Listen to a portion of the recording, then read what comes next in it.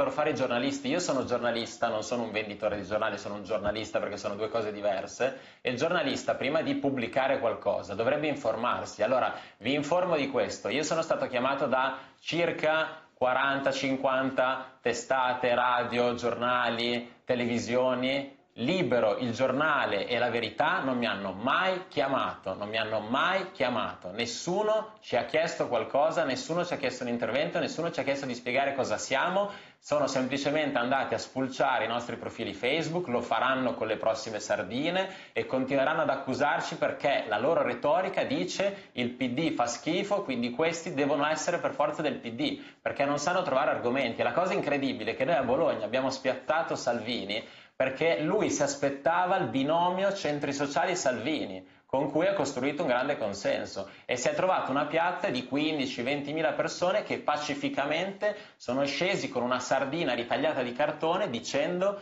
siamo comunque più forti noi che portiamo un messaggio di pace e di speranza rispetto a tutta la retorica dell'odio e della rabbia su cui è stato costruito il consenso. L'altra cosa incredibile che io ritengo assurdo che si continui a parlare di Bibbiano. Questo è un motivo, è uno dei motivi per cui noi scendiamo in piazza, perché non vogliamo una campagna elettorale come è stata in altre regioni, come sarà in Italia, non vogliamo che la politica italiana sia questa roba qua.